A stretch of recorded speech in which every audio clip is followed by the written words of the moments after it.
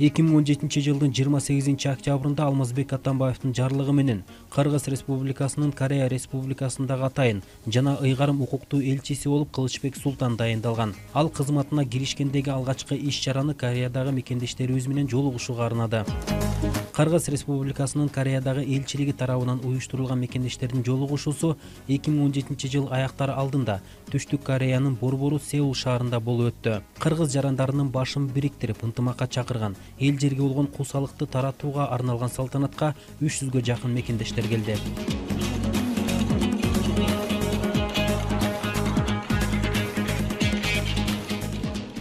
жолугушуунун жүрүшүндө кыргыз республикасынын корея республикасындагы атайын жана ыйгарым укуктуу элчиси кылычбек султан мекендештер менен саламдашып жүз көрүшүп жатканына кубанычта экенин айтып эки миң он жетинчи жыл мамлекетибиз үчүн тарыхыбызда өзгөчө жыл болгонун баса белгиледи. Ошондой эле элчи мырза кореяда окуп иштеп жүргөн жарандардын тапкан ар бир тыйыны мамлекетке кошкон чоң салым экенин айтты.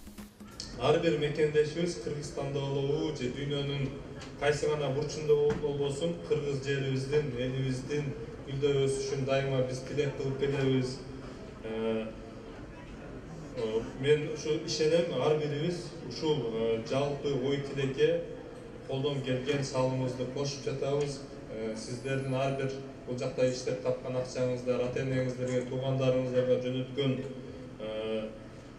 акчаңыздар бул мекенибизге болгон салым. Расмий бөлүк жыйынтыкталган соң экинчи бөлүк концерттик программа менен коштолду. Анда атайын кыргыз жеринен элчи кылычбек султандын чакыруусу менен келишкен ырчылар каникей ильяс абдыразаков алып баруучу жана актриса назира айтбекова тамашоочу жаныш майрамбек уулу өз өнөрлөрүн тартуулашты. Кыргыз жүзүн кыргыз үнүн сагынып калышкан мекендештер ырчылардын ар бир ырын коштобурдап ортого чыгып бийлеп шаңдуу отурушту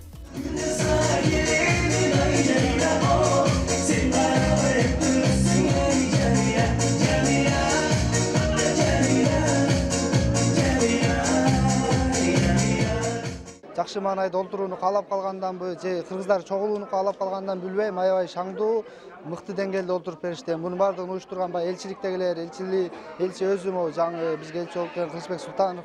агабыз бар ушул элчиликтин кызматкерлери чуркап аябай мыкты деңгээлде кызмат көрсөтүштү мыкты деңгээлде уюштурушты десек болот жалпысынан аябай ыраазыбыз сонун болду бүгүн көңүлүм жазылып